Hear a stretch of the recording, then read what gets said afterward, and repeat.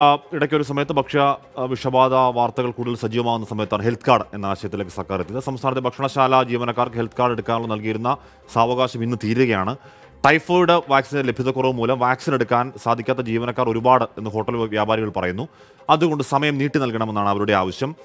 എന്തായാലും ഭക്ഷ്യസുരക്ഷാ പരിശോധനകൾ കൂടുതൽ കൂടുതൽ കർശനമാക്കണമെന്നും അത് ഏതെങ്കിലും തരത്തിൽ ലൂസായി പോകരുത് എന്നും നിതാന്തമായി ആഗ്രഹിക്കുന്നുണ്ട് സാധാരണ പൊതുജനം.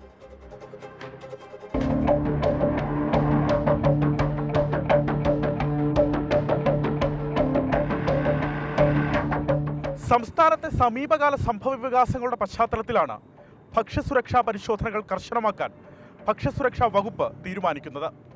എന്നാൽ ഭക്ഷണശാലകളിലെ ജീവനക്കാർക്ക് ഹെൽത്ത് കാർഡ് നിർബന്ധമാക്കിക്കൊണ്ടുള്ള തീരുമാനം നടപ്പിലാക്കുന്നതിന് സർക്കാർ സാവകാശം നൽകി. ഒന്നല്ല രണ്ടു വട്ടം. ആ അധിക സമയം തീരാൻ ഇനി മണിക്കൂറുകൾ മാത്രമാണ് ബാക്കി. സാവകാശം നീട്ടി നൽകിയില്ലെങ്കിൽ നാളെ മുതൽ പരിശോധന ശക്തമാക്കും. ഹെൽത്ത് കാർഡ് ഇല്ലാത്ത സ്ഥാപനങ്ങളുടെ ലൈസൻസ് റദ്ദാക്കും. ഭക്ഷണം പാകം ചെയ്യുന്നതും വിൽപ്പന നടത്തുന്നതുമായ എല്ലാ സ്ഥാപനങ്ങളിലെയും ഭക്ഷ്യവസ്തുക്കൾ കൈകാര്യം ചെയ്യുന്ന മുഴുവൻ ജീവനക്കാർക്കും ഹെൽത്ത് കാർഡ് നിർബന്ധമാണ്. ഡോക്ടറുടെ നിർദ്ദേശപ്രകാരം ശാരീരിക പരിശോധന കാഴ്ചശക്തി പരിശോധന ത്വക്ക് രോഗങ്ങൾ വ്രണം മുറിവ് എന്നിവയുണ്ടോ എന്ന പരിശോധന വാക്സിനുകൾ എടുത്തിട്ടുണ്ടോ എന്ന പരിശോധന പകർച്ചവ്യാധികൾ ഉണ്ടോ എന്നറിയുന്നതിനുള്ള രക്തപരിശോധന ഉൾപ്പെടെയുള്ളവ നടത്തിയതിനു ശേഷമാണ് ഹെൽത്ത് കാർഡുകൾ നൽകുന്നത്. ഒരു വർഷമാണ് ഹെൽത്ത് കാർഡിന്റെ കാലാവധി. എന്നാൽ ഒരു വിഭാഗം ജീവനക്കാർ ഇനിയും ടൈഫോയിഡ് കുത്തിവയ്പ് എടുക്കാനുണ്ട്. വാക്സിന്റെ അഭാവമാണ് കാരണം ഹെൽത്ത് കാർഡ് നിർബന്ധമാക്കുന്നതിന് വീണ്ടും സാവകാശം തേടുകയാണ് ഹോട്ടൽ വ്യാപാരികൾ. നടപടി കുറച്ചും കൂടെ നീട്ടിത്തരണം. രണ്ട് മാസത്തേക്കെങ്കിലും നീട്ടിത്തന്നത് വളരെ ഉപകാരമാണ്. ഇപ്പം പൊങ്കാല സമയമാണ്. ഇപ്പം ഈ ഹെൽത്ത് കാർഡ് ഇല്ലെങ്കിൽ വളരെയധികം ചെക്കിങ് കാര്യങ്ങളെല്ലാം നടന്നുകൊണ്ടിരിക്കുകയാണ്. അത് നമ്മളെ സംബന്ധിച്ചിടത്തോളം വലിയ പാടാണ്.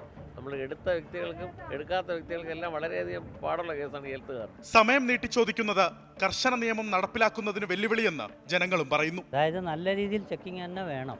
കാരണം ഇത് ജനങ്ങളുടെ ആരോഗ്യത്തെ തന്നെ ബാധിക്കുകയാണ്.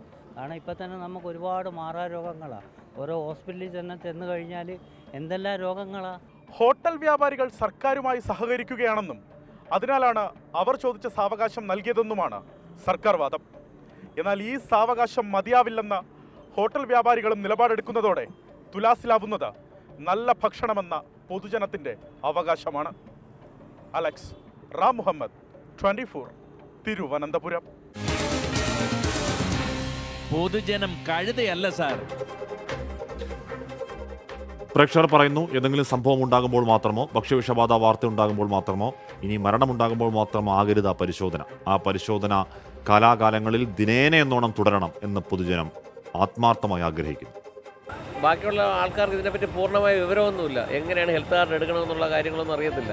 അതുകൊണ്ട് ഒരു നടപടി കുറച്ചും കൂടെ നീട്ടിത്തരണം. രണ്ട് മാസത്തേക്കെങ്കിലും നീട്ടിത്തന്നത് വളരെ ഉപകാരമാണ്. നമ്മളിപ്പോൾ ആഹാരം കഴിക്കുന്നത് വെച്ചാൽ ഒരു തിരക്കുള്ള ഹോട്ടലാണെങ്കിൽ കയറി കഴിക്കും. എന്ന് വെച്ചാൽ നാളത്തേക്ക് ആ ആഹാരം ബാക്കി വരത്തില്ല എന്നൊരു ഉറപ്പുള്ളത് പൊതുജനങ്ങളെ വരെ കഴുതയാക്കിക്കൊണ്ട് നടത്തുന്ന ഹോട്ടലുകളെ അടച്ച് പൂട്ടിക്ക തന്നെ വേണം. ഹെൽത്ത് കാർഡിന് സാവകാശം തരുന്നത് മാത്രമല്ല അതിനുള്ള എല്ലാ സജ്ജീകരണങ്ങളും ഗവൺമെന്റ് ഹെൽത്ത് സെന്ററിലും ഗവൺമെന്റ് ആശുപത്രികളിലും ഉണ്ടാവണം. ഹോട്ടൽ ഉടമകൾ തന്നെ വിചാരിച്ചാൽ മാത്രമേ ഇതിനൊരു പരിഹാരം കാണാൻ കഴിയൂ. സർക്കാർ സമയം കൊടുത്തിരുന്നു. ആ സമയത്തിനുള്ളിൽ ഞങ്ങൾ ലൈസൻസ് എടുത്തു എടുക്കാവുന്ന ലൈസൻസ് എടുത്ത് ലൈസൻസ് എടുക്കാൻ പറ്റുന്നവർ നടത്തിയാൽ മതി. പരിശോധനകൾ കർശനമാക്കുക എല്ലാ രീതിയിലും. ഹെൽപ്പ് കാർഡ് നിർത്താൻ തന്നെ അത് ഹെൽപ്പ് നിർത്താൻ നിർബന്ധമാക്കി കൊടുത്തേ ഒക്കുള്ളൂ ഒരു ജീവഹാനി ഉണ്ടാവുന്ന സമയത്ത് മാത്രമേ സർക്കാരിന്റെ സംവിധാനങ്ങൾ ഉയർന്ന് ഉണർന്ന് പ്രവർത്തിക്കുന്നുള്ളൂ. അപ്പോൾ അത് പോരാ. അപ്പോൾ നിരന്തരം ഈ ഹോട്ടലിൽ സെർച്ചിങ് കൊടുക്കുക ഫുഡ് കാരണം മരണപ്പെടുന്ന ഭക്ഷ്യവിശ്വാസം അങ്ങനത്തെ കാര്യങ്ങൾ വരൂല എന്നാണ് ഇതൊരു ജുഡീഷ്യറി ആക്ടിവിറ്റിയും കൂടെ ചേർന്ന് തന്നെ പോകണം. ആർക്കും എന്തും ചെയ്യാമെന്നുള്ള സ്റ്റേജാണ് ഇപ്പോൾ അത് മാറ്റി നല്ല രീതിയിൽ ഇത് കൊണ്ടുപോകണം. ആ, എന്തായാലും അത് തന്നെയാണ് പറയാനുള്ളത്. എന്തെങ്കിലും പ്രശ്നമുണ്ടാകുമ്പോൾ മാത്രമല്ല എല്ലാ കാലത്തേക്കും അത് അത് തുടരണം. മാത്രമല്ല ഒരു- ഹെൽത്ത് കാർഡ് ഉറപ്പാക്കുന്നതിൽ മാത്രം പ്രശ്നം തീരുന്നില്ലല്ലോ. ഹോട്ടലുകളിൽ പഴകിയ ഭക്ഷണം വിൽക്കുന്നുണ്ടോ എന്ന് പരിശോധിക്കാൻ നേരിട്ടുള്ള പരിശോധനയാണ് ആവശ്യം. അത് കൃത്യമായ ഇടവേളകളിൽ കൃത്യം കൃത്യം പരിശോധനയാണ് ആവശ്യമെന്ന് പൊതുജനങ്ങൾ കൃത്യം നല്ല ബോധ്യവുമുണ്ട്.